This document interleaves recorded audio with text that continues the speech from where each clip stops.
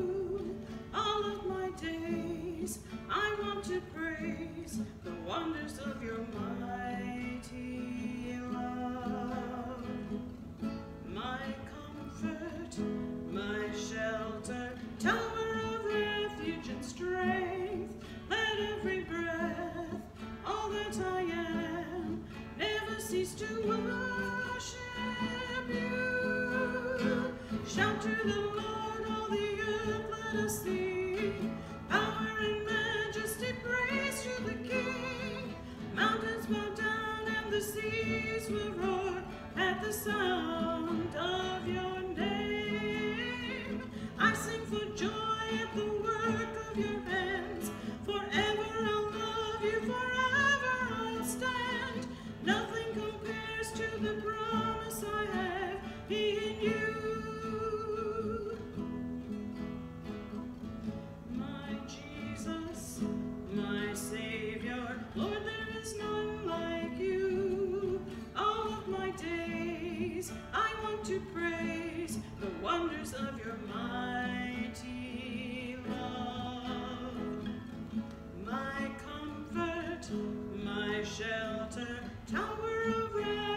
and strength. Let every breath, all that I am, never cease to worship you. Shout to the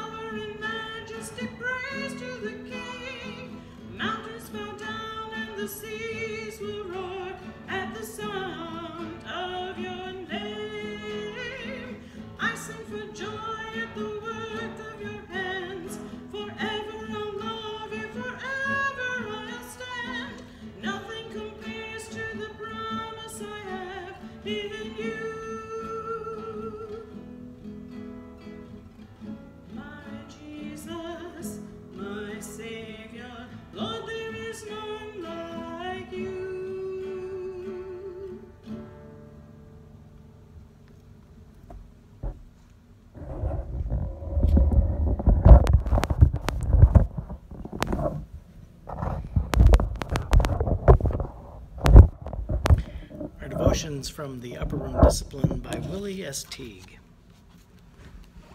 And our scripture is one, Psalm 149, 5 to 9. Let the faithful exult in glory. Let them sing for joy on their couches. Let the high praises of God be in their throats and two edged swords in their hands to execute vengeance on the nations and punishment on the peoples to bind their kings with fetters and their nobles with chains of iron, to execute them on the judgment decreed. This is the glory for all his faithful ones. Praise the Lord.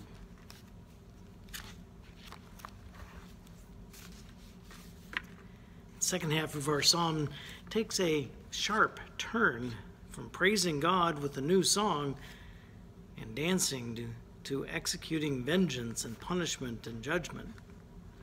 Verse tells us to have praise of God in our throats and a two edged sword in our hands. The vengeance, punishment, and judgment we are to execute are God's, not ours.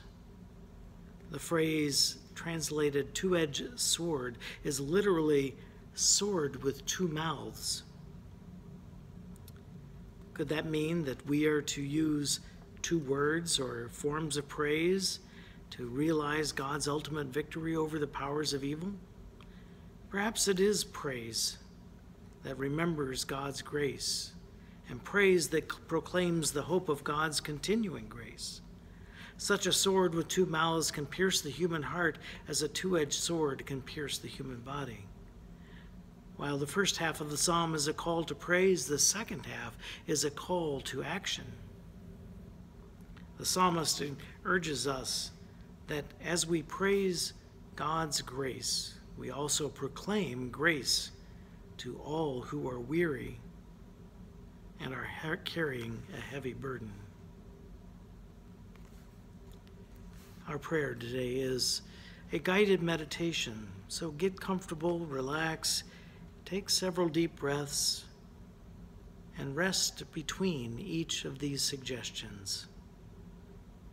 Remember when God has been gracious to you.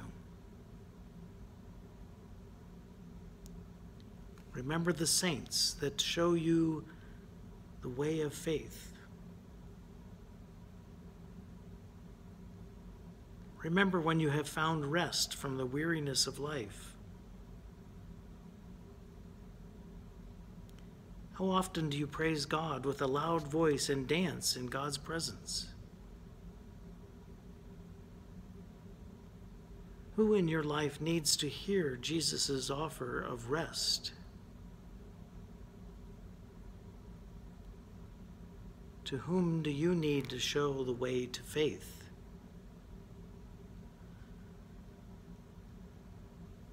And give thanks to God for your sword with two mouths. In Jesus' name we pray. Amen. Now thanks to Esther Knopfsinger, who will accompany us with I Love to Tell the Story. I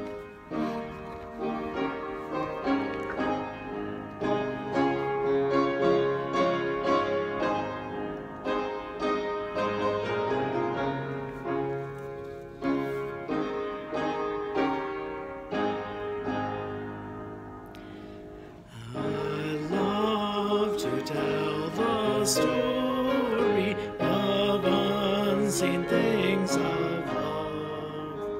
of Jesus and his glory, of Jesus and his love.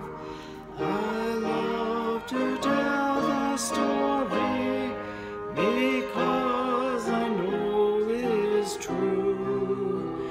It satisfies my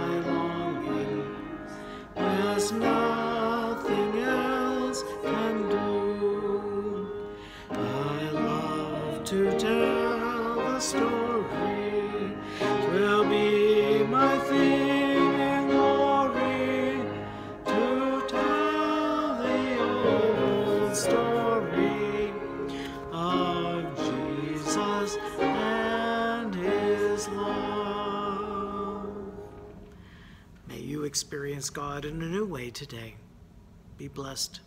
Amen.